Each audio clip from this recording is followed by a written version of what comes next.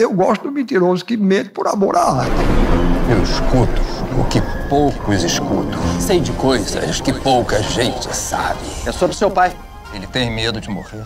O único problema é que ele já morreu há mais de 30 anos, mas no mais, ó. Quem morreu há mais de 30 anos foi o marido da sua mãe. Seu pai tá vivo. Do universo do mestre Ariano Suassuna. Paulo Mendonça! É ele! Não Vocês acredito. estão me confundindo. Eu não sou essa pessoa que vocês estão falando. Paulo Mendonça. É, eu sou Helder Flores.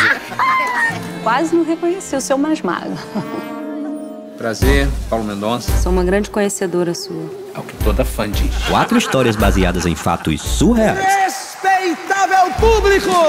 que vão dar asas para sua imaginação. Ele não para de falar que tem pomba dentro do ouvido. Se tem pomba dentro do meu ouvido, eu posso voar.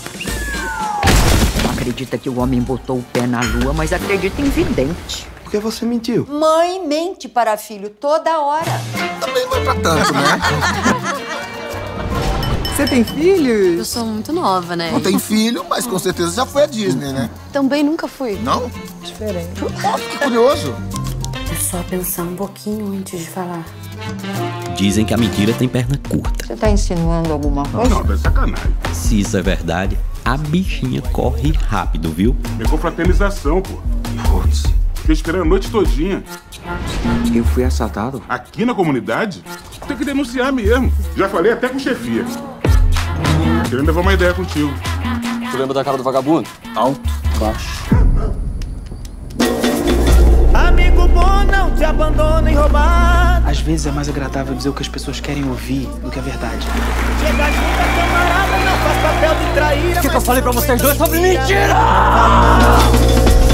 Minha vida não acontece nada e eu gosto de contar a história.